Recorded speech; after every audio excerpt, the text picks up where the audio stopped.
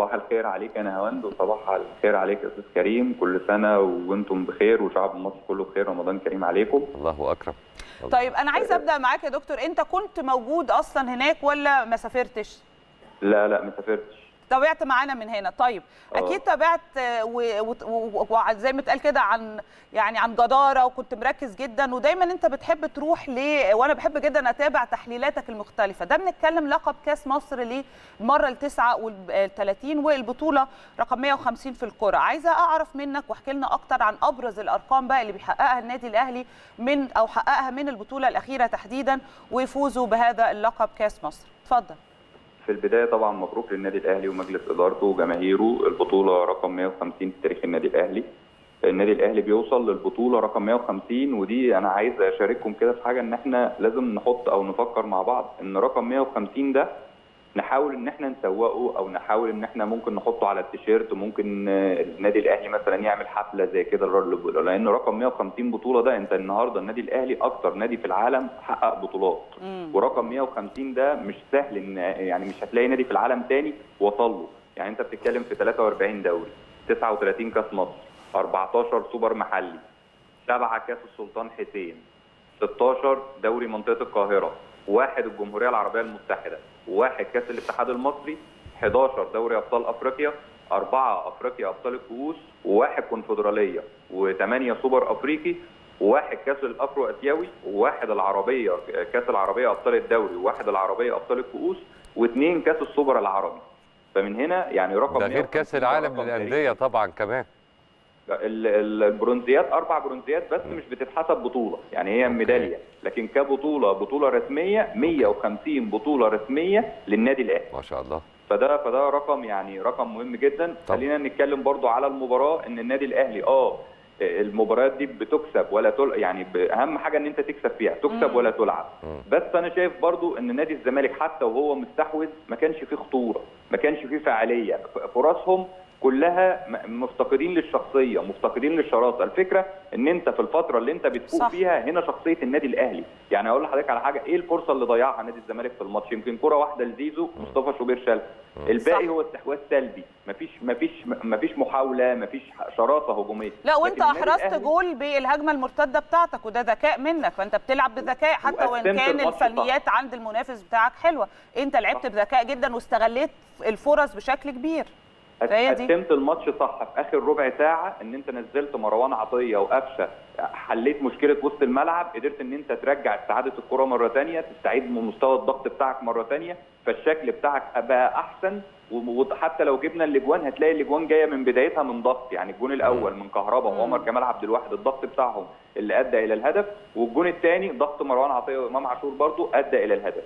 خلينا نتكلم على إمام عاشور تحديدا إمام عاشور في, في سبع شهور مع النادي الأهلي بيحقق بطولتين مم. سوبر مصري وكأس مصر وكمان ميدالية برونزيه كأس العالم للأندية في سبع شهور فمن هنا بنقول لأي لاعب أنت بتصنع التاريخ جوه النادي الأهلي صح. النادي الأهلي صح. هو اللي بيديك بطولات هو اللي بيديك شهرة وبيديك فلوس كمان يعني ما تحسبهاش فلوس بس لأن النادي الأهلي بي- بيديك كل حاجة فمن هنا ده لازم يكون نموذج لأي شاب طالع من النادي الأهلي طبعا برضه بالنسبة لمصطفى شوبير النهارده لو كنا رحنا اشترينا أي حارس من بره كنا هندفع ملايين كتير سواء بقى أي حد كان أسمه زي محمد بسام أي حد كان اسمائه بتتقال النهارده هل أنت كنت ضامن إن حارس المرمى ده يستحمل الضغوط اللي اتعرض ليها مصطفى شوبير في الماتشات. اللي فاتت دي. سواء لما سافرنا ميدياما في غانا شباب بلوزداد نهائي. كاس مصر قدام الزمالك وما يستقبلش ولا هدف فهنا بنتكلم على إيه؟ على أهمية قطاع الناشئين في النادي الأهلي، صح. لما بيطلع لك حارس زي مصطفى شوبير بيوفر عليك ملايين وكمان بيبقى عنده دي إن إيه النادي الأهلي متربي جوه النادي الأهلي، عارف يعني إيه ضغوط، عارف يعني إيه ماتشات أهلي وزمالك، عارف يعني إيه ماتشات دوري أبطال أفريقيا. عاجبني في مصطفى شوبير إن هو عنده ثبات انفعالي، عنده سرعة رد فعل كويس، شخصيه مش مش- ما تحسيش إن هو حاسس أو خايف من الضغوط أو الجماهير، واحد لاعب نهائي ماتش الوداد في دوري أبطال أفريقيا لعب نهائي كأس مصر وسط الجماهير دي كلها تحس إن هو حارس بصراحة النادي الأهلي كسب حارس ممتاز ومن مم. هنا بنتكلم على أهمية القطاع. مهم جدا قطاع الناشئين في النادي الأهلي إن هو بيطلع لك نماذج ولاعيبة بتوفر علينا كتير. طب أنا خليني أسألك يا دكتور هنا برضو نقطة مهمة طالما ذكرت النقطة دي على مصطفى شوبير. كان في كده برضو توجه في الفترة اللي فاتت بعض الناس اللي قالت لك والخبراء على فكرة في حراسة المرمى قالوا لك مصطفى شوبير الأفضل ليه إن هو كان يروح إعارة مثلا ست شهور ويرجع تاني للنادي الأهلي. البعض الآخر قال لك مصطفى مش محتاج ده. زي ما أنت قلت هو ابن النادي الأهلي. هو يمكن ما أخدش الفرص الكبيرة الفترة اللي فاتت بطبيعة الحال وطبيعة الأمر إن حارس المرمى ده مش مركز يسمح فيه روتيشن بشكل كبير لكن فرصته جت. ولما الفرصة جت أثبت ورد على الناس اللي هم قعدوا يقولوا إن هو محتاج إعارة وغيره ودي ما كانتش حاجة سيئة يعني بس هو أثبت إن هو مش محتاج ده. بالعكس هو ظهر بمستوى فني رائع جدا وكأنه في الملعب وكأنه كان أساسي لمدة طويلة جدا. فده برضو نجاح مش سهل. يعني إن حد يوصل له. ده ده كمان بيدل على إيه؟ بيدل على إن النادي الأهلي عنده ثقة في مصطفى شوبير وعارف إمكانياته وقدراته. ما ممكن أي حد تاني لو أنا لو مش حارس أنا مش واثق فيه قوي كانت هتبقى مغامرة. لكن هم عشان عارفين إمكانيات مصطفى ومتابعينه من أيام قطاع الناشئين وعارفين إمكانياته وقدراته في التمرين وإن هو اكتسب خبرات فخلاص وثقوا فيه. فقدر إن هو إن هو الحارس الثاني حتى هم لما بيدعموا لأ إحنا عايزين حارس واحد زي مصطفى مديك الأمان مديك إحساس بالأمان. خلينا برضو نروح للكابتن الخطيب. الكابتن الخطيب النهارده بيحقق البطولة رقم 17 مم. يعني البطولة رقم 17 في ست سنين وثلاث شهور. كانوا كانوا يقول لك الكابتن الخطيب مش ع... يا جماعة الكابتن الخطيب بيشتغل ويعمل في صمت. هو بيتكلم بالبطولات بيتكلم بالانتصارات بس ده, ده أفعاله وأقواله. النهارده الكابتن الخطيب بيوصل للبطولة رقم 17 بالإضافة إن هو رئيس النادي الأهلي الوحيد في التاريخ اللي اخذ ثلاثة برونزية كأس عالم للأندية. وده, وده كان طبيعي جدا خلي بالك يا دكتور أحمد لأن الحقيقة كلنا كلنا واخدين بالنا إن في تطور كبير جدا في كرة القدم في النادي الأهلي تحت رئاسة كابتن محمود الخطيب لدرجة إن في ناس كمان كانت بتقارن بين الإنجازات اللي بيحققها كابتن محمود الخطيب وبيقارنوها بإنجازات كابتن حسن حمدي في عهد كابتن حسن حمدي. ف بطبيعة الحال دي نتيجة منطقية جدا ورجوعا للنقطة اللي حضرتك كنت بتتكلم فيها من شوية فكرة إن أي حد بينضم لصفوف النادي الأهلي بيحصد انتصارات وفي أزمنة قياسية وحضرتك بتتكلم مع نهاوند في التفصيلة دي. أنا سرحت في مودست مثلا. أهو مودست في زمن قياسي حصد مع النادي الأهلي بطولتين وهو إجمالي المدة اللي لعبها مع النادي الأهلي. لو حسبناها على بعض مش هتكمل شوط واحد. فهو ده النادي الأهلي فعلا. في لعيبة طلعت يا أستاذ كريم من النادي الأهلي بقى لهم تسع سنين ولا ثمان سنين ما خدوش بطولة واحدة صح. يعني مثلا مثلا عبد الله السعيد لما خرج من النادي الأهلي ما خدش ولا بطولة في مسيرته فأنت النادي الأهلي يا جماعة هو اللي بي بيصنع لك البطولات لأن طبعا. النادي الأهلي نادي مؤسسي يعني الكابتن الخطيب في ست سنين رؤساء الأندية الأهلي اللي هم العظام هم اللي عدوا 20 بطولة اللي هم عملوا تاريخ رهيب كان الكابتن صالح سليم والكابتن حسن حمدي. الكابتن الخطيب بيقرب منهم خلاص 17 بطولة والوحيد فيهم اللي عمل ثلاثة برونزيه كأس عالم يعني ناقص له ثلاث بطولات ويعدي 20 بطولة. الكابتن الخطيب أخذ أربعة دوري. أخذ ثلاثة كأس مصر خمسة سوبر مصري ثلاثة دوري أبطال أفريقيا اثنين سوبر أفريقي وثلاثة برونزيه كأس عالم للأندية. ما شاء الله. فأنت بتتكلم في إنجازات كبيرة جدا. طبعا. كمان من ضمن البطولات واحد زي الناس برضو في رقم يمكن مفاجأة لبعض الناس ما ما بالنسبة لرامي ربيعة. رامي ربيعة يا جماعة أكتر لعيب في الجيل الحالي ده في الجيل الحالي حقق بطولات. رامي ربيعة بيوصل للبطولة رقم 24 مع النادي الأهلي. 24 بطولة ده أكتر من تاريخ أندية. رامي ربيعة لوحده جايب 24 بطولة يليه محمد هاني ومحمد الشناوي 20 بطولة عمرو السولية 19 وعلي معلول 19 فعلي معلول كمان لسه له بطولتين يعني يوصل ويعادل رقم جilberto يعني يوصل يعادل رقم جilberto ويبقى أكتر وعلى فكرة قريب جدا. يعني أنت لو خدت الدوري إن شاء الله وبطولة مثلا أفريقيا أو كأس مصر أو سوبر في خلال السنة كلها فممكن علي معلول السنة دي على موعد إن هو يبقى أكتر محترف في تاريخ النادي الأهلي واخد بطولات. صحيح. برضه بالنسبة لرامي ربيعة هنرجع ونقول إن ربيعة قدم مباراة كويسة.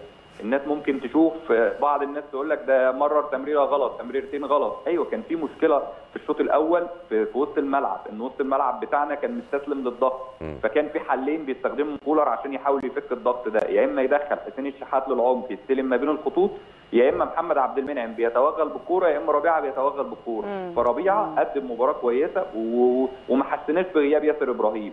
من هنا أنت لازم تكسب اللعيبة كلها في خط الدفاع بالذات. الفرق الكبيرة لازم يكون فيها مدافعين كويسين كتير. طبعا. سواء محمد عبد المنعم رامي ربيعة ياسر إبراهيم بيجي بعديهم متولي.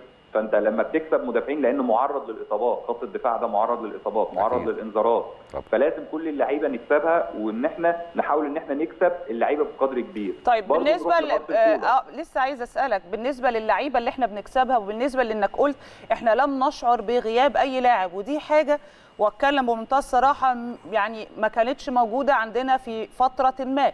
انت كنت بتشعر بغياب لاعب أو أكتر من لاعب لما بيكون في مثلا غياب أو إصابة أو غيره إن انت ما عندكش في نفس المركز كذا اوبشن بنفس المستوى. فده ما بقاش مع مارسيل كولر. عشان كده أنا عايزة أروح معاك شوية برضو يا دكتور لمارسيل كولر وكمان بلغة الأرقام شايف إزاي أرقام كولر مع البطولات أو من البطولات مع النادي الأهلي حتى هذه اللحظة؟ مارسيل كولر الميزة فيه إن هو بيتبع system واحد وطريقة لعب واحدة ومنظومة ضغط معينة فاللي بي... اللعيب اللي بيغيب ما بنحسش بغيابه. يعني ياسر إبراهيم لما غاب دخل ربيعة ما حسيناش بغياب ياسر. صح. الشناوي لما غاب دخل مصطفى شوبير ما حسيناش بغياب الشناوي.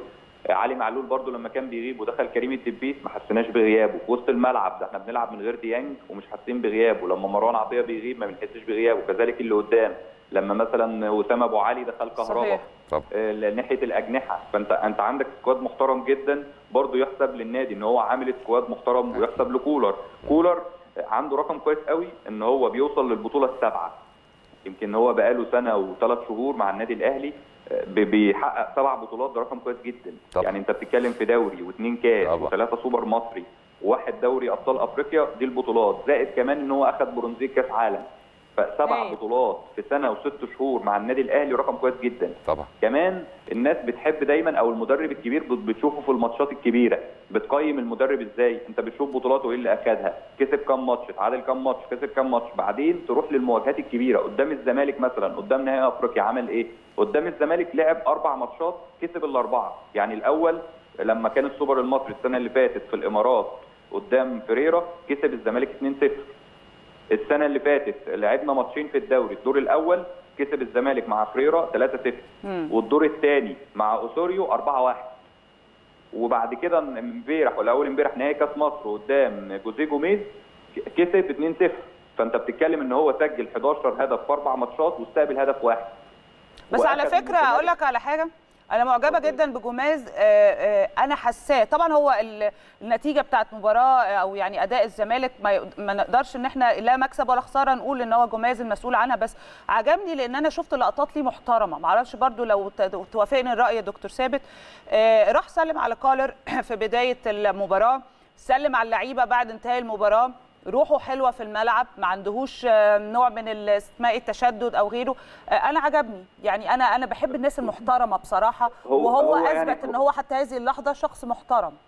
طبعا. هو هو هو يعني بالنسبة للمدربين اللي قبل كده هو عنده ميزة شوية عن اسوريو، اسوريو كان بيفتح ال game قوي بيشتغل في مساحات كبيرة، لكن جوزيه جوميز مدرب الزمالك ده لا عنده منظومة ضغط أحسن شوية، يعني هو في الشوط الأول كان باين إن هم ضغطهم كويس وعنده system بادئ بيه هادي شوية على الخط. ولكن برضه كولر تفوق عليه. انت النهارده. الكورة بتعترف بال... بال... انت عملت إيه؟ المدرب اللي بيغير الشوط الثاني وي... ويبقى عنده قرايه ملعب هو اللي يبقى أفضل هو اللي يبقى أحسن. عشان كده مارسيل كولر قدر بتغييرين إن هو نزل قفشة ونزل إمام عاشور قدر إن هو يقلب المباراة. الناحية الثانية ما قدرش رغم إن هو برضه عنده أوراق ما قدرش إن هو يغير.